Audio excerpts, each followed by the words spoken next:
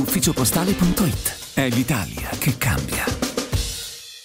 Le restrizioni del governo relative all'utilizzo dei bonus edilizi contenute nel decreto Sostegni Ter sta creando non poche difficoltà e in Abruzzo, dove prevalgono imprese di piccole e medie dimensioni, il rallentamento è sempre più evidente in quest'ultimo periodo.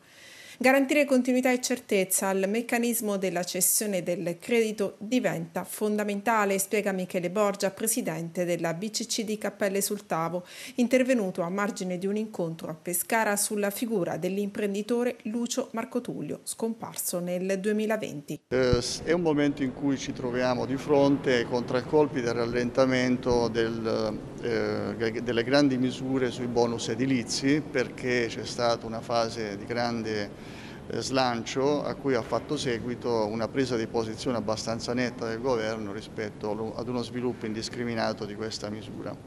Quindi molte aziende che erano partite eh, senza considerare poi l'ipotesi che potesse fermarsi da qualche parte questa eh, misura adesso si trovano nella condizione di chiudere dei cantieri, di sviluppare delle attività. Stiamo studiando una modalità per rendere il meno possibile eh, complessa eh, questa, questa, prospettiva e ci auguriamo che il governo eh, riapra in una prospettiva di continuazione almeno dei cantieri già aperti, riapra appunto questa disponibilità e metta noi come istituti e gli operatori economici come destinatari della provvidenza nella condizione di completare i cantieri e quindi evitare che ciò che è nato per fare del bene al tessuto economico finisca addirittura per danneggiarlo.